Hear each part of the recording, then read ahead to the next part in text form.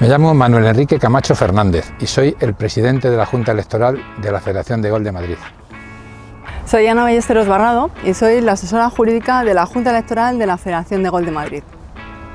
Soy Julia Guillaume Oliveros y soy vocal de la Junta Electoral. Soy Álvaro Garnica Say de los Terreros y soy el secretario de la Junta Electoral.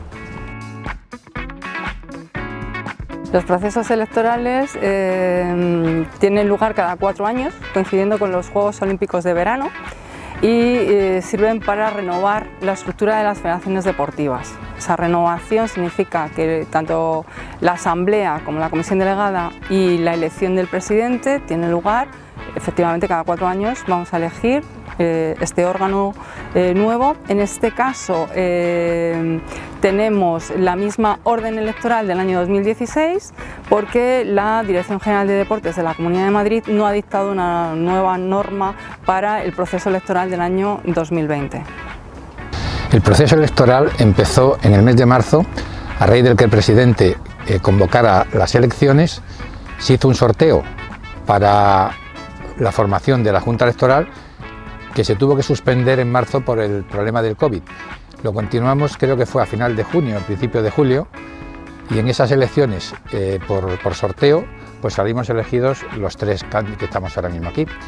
Por orden de edad, yo que soy el mayor, fui elegido presidente, vocal Julia y secretario Álvaro. Sí, bueno, la forma de elección de la Junta Electoral, eh, dada la situación que teníamos con el COVID, pues se tuvo que hacer de, forma telemática, esencialmente. Hubo exclusivamente tres personas que estuvieron presenciales, que fue el secretario de la Federación, Alfonso Fernández de Córdoba, uno de los candidatos, una en este caso de los candidatas, y yo que estuve también, también presente. El resto de los candidatos, en total nueve candidatos para tres plazas, porque se eligen tres titulares y luego dos suplentes como mínimo para cada uno de los puestos que salen elegidos. ¿Cómo se hizo esa votación? Pues simple y llanamente con todos los presentes en sus casas y los que estábamos presentes aquí en los locales de la federación, pues se sacó a sorteo, es como, como, se, establece el reglamento cuando hay más candidatos que plazas a cubrir. Se elige la asamblea. La asamblea eh, está formada por cinco estamentos, clubs con campo, eh, deportistas, árbitros, técnicos y luego otros clubs sin campo, que son, está dentro de otros colectivos. Hemos elegido la Junta Electoral, ya se ha reunido, hemos elaborado, hemos dictaminado la Junta Electoral el censo de cada uno de los estamentos, que va a ser el censo que va a regular luego las votaciones en cada uno de ellos. Y luego eh, estamos ahora en fase de resolución de los recursos que se han planteado a ese censo, bien de deportistas o bien de otros, estamentos, por cuestiones técnicas, deportivas, lo que sea en cada caso, y esperamos ya que mañana probablemente todo lo que tiene que ver con el censo esté cerrado. A partir de ese momento ese censo se convierte en definitivo, ya nos, ya nos admiten más impugnaciones al mismo y entonces empieza la segunda fase. La segunda fase ya es la proclamación de candidaturas eh, a, las previas, a, previas a la votación. Y entre medias hay otro proceso que está también ahora eh, ya eh, en funcionamiento, que es el voto por correo. Que este año veremos a ver la, la entidad que tiene debido al tema del COVID precisamente. Pero en principio las elecciones van en ritmo, según el calendario que está fijado en la página web, que yo, por, añadir algo de lo que han dicho mis compañeros, es muy importante que todo, bueno, aquí estamos un poco explicando, pero sobre todo que la gente consulte la, web de la federación, que hay un, hay un link concreto de elecciones 2020, y ahí tienen todo, el reglamento electoral, los censos, cómo hay que elegir a la gente, cómo se tiene Creo que es lo más, lo más didáctico.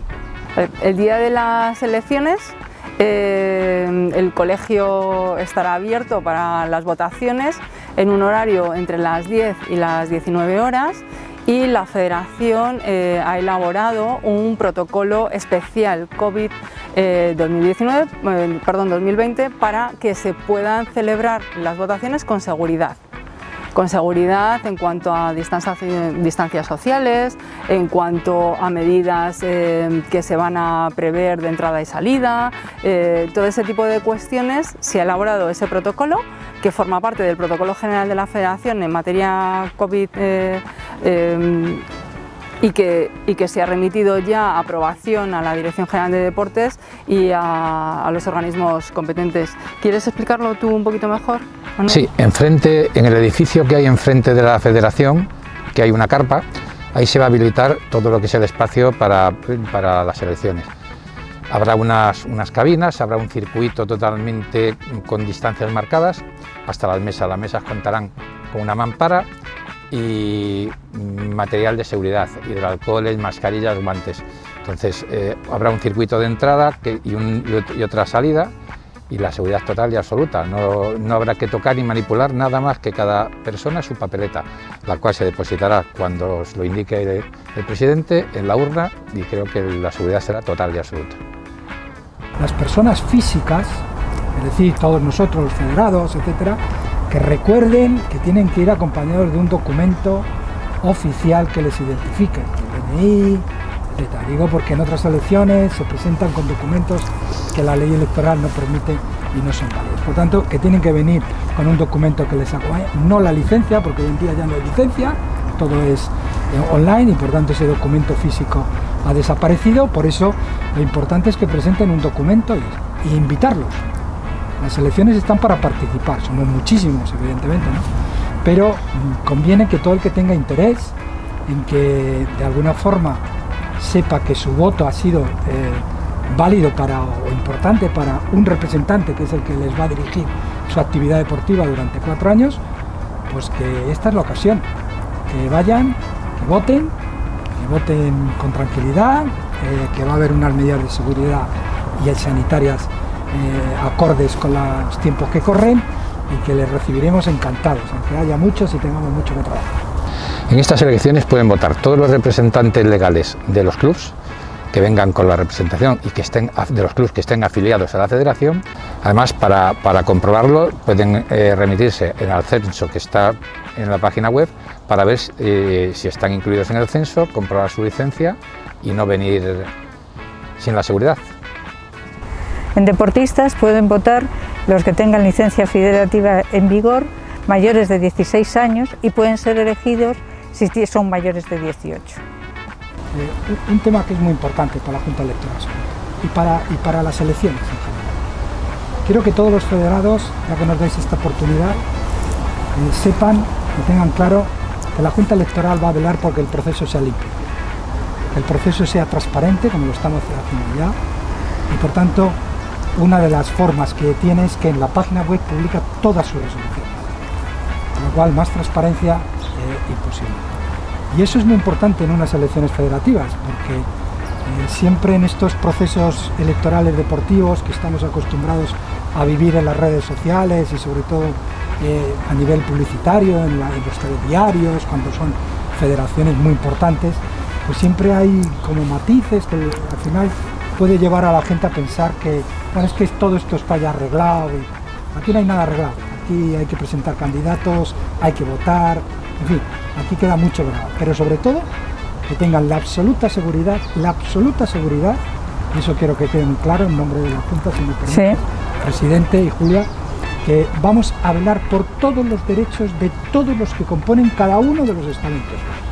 Todos, desde un club hasta un federado eh, por, de 16 años.